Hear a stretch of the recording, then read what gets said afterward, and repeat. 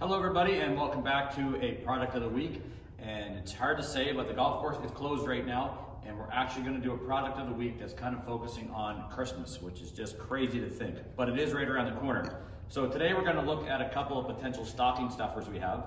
And those of you that know me, you know how much I love my socks. So we're gonna dive into a little sock presentation here today. So as we all get ready to return back to the office, um, we've got some dress socks for the men, some polo dress socks, and they come in a pack of three.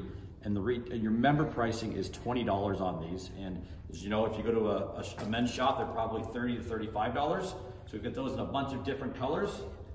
And now we're gonna have a little fun with some funky socks that I like to wear. We've got the corgis, and we've got, we all need this in the morning. No coffee, no worky. We all need our coffee first.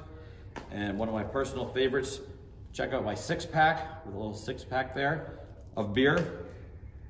We've got a few of these around the club probably. You can check out Dad Bod, which is kind of funny. We all like that one. And then Happy Wife, Happy Life, which is a classic line that I've heard many times. And then kind of something for those cozy Christmas mornings. We've got his and hers kind of sock slippers. And all I can tell you is that when you put your hand in these slippers, you won't believe how comfortable they are.